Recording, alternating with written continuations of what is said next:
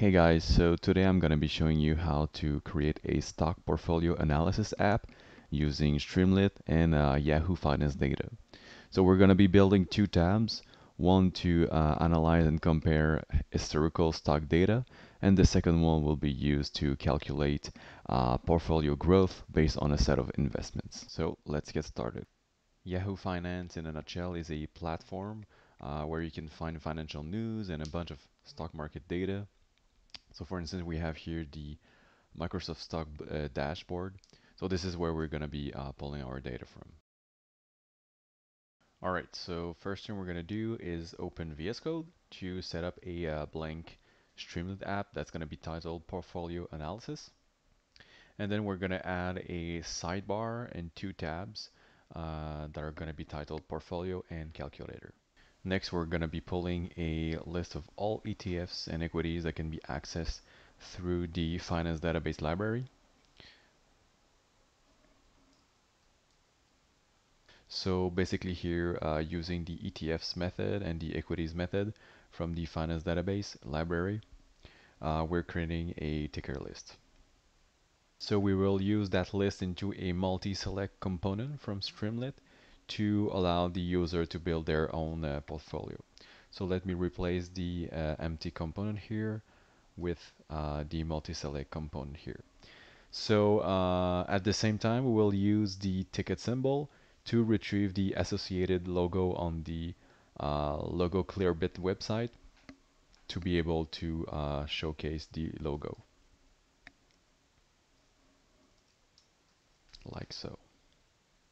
So the user can now search for any tickers with uh, this multi-select component here.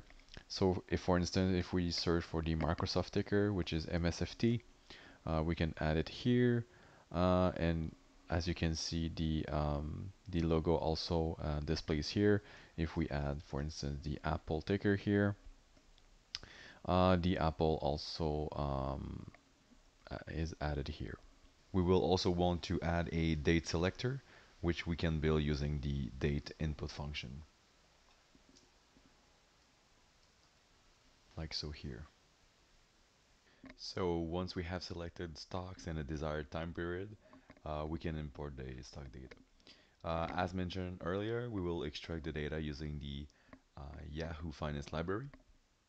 So the only thing we have to do is input a list of ticker symbols into the download function uh, as well as a start and an end date. In addition to that, we also calculate uh, the price at the very start of the selected time period and uh, daily percentages of variation in, uh, in price.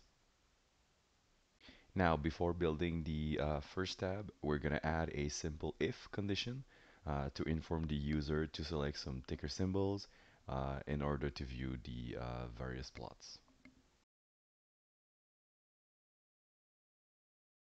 Alright, so the first plot that's going to be displayed in the portfolio tab uh, will be a line plot uh, showcasing the daily percentage of change in price from the uh, selected start date. By the way, uh, all the plots that will be shown here were created actually with the Plotly library. So this is a good chart to compare the performance of multiple stocks within the same plot. Uh, but we're also going to add some metrics uh, on the individual stocks uh, below this plot. So to do so, we uh, we just have to build a for loop that goes through uh, the uh, the ticker list that we've created earlier, and then we add the specific metrics. In this case, I've decided to calculate a 50-day average uh, of the price and then uh, extract the one year high and lows uh, of the price. And finally, we can add a simple plot to display the raw variations in price for the individual stock that we have displayed here. So essentially, this is what the portfolio tab consists of. Uh, if we go back here, uh, we can play a bit with the uh, various widgets. So I guess we can try to start over with a uh, new set of uh, stocks. Um, so I don't know if we take the let's say the Netflix stock with the Nvidia stock which is very popular right now, uh, or um, and the I guess the Tesla stock here. So as you can see here, all of these stocks uh, are shown in the all stocks plot here. We can analyze or observe that the uh, Tesla, uh, yeah, the Tesla stock seems to have some problems uh, in the six last months. Um, so yeah, like I said, uh, you can also uh, analyze the individual stock with the 50-day average, the one-year low and highs, and the um, the individual plot with the the actual raw prices in the time frame. So I can also change the time period. Uh, so let's say I only wanted the uh, the last three months. That would be uh, something that I can do here. So let's say the 1st of April.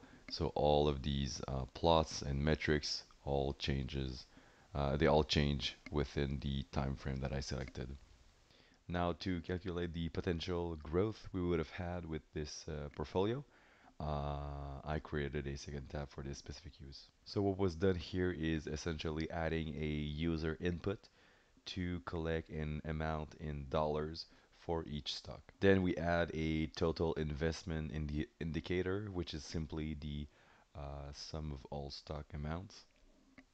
Uh, we also add another uh, user input for the uh, the goal amount to know if we would have been able to reach uh, to reach the goal within the, uh, the time period selected.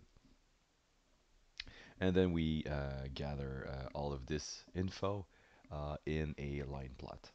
Alright, so with all these components, we are able to construct multiple scenarios where, for instance, let's say if I had on April on April 1st hundred dollars for each stock. So let's say I have a hundred dollars of Netflix, $100 for Nvidia and $100 for Tesla. Uh, I would uh, want to know if I would have been able to gain uh, $100, 100 more dollars uh, during the time frame. So that would uh, that would be a goal of $400. So uh, the answer would be yes, I would have been able to collect $100 more um, in the time frame that I selected. In fact, it would be uh, a bit earlier, uh, would be the uh, 9th of July 2024.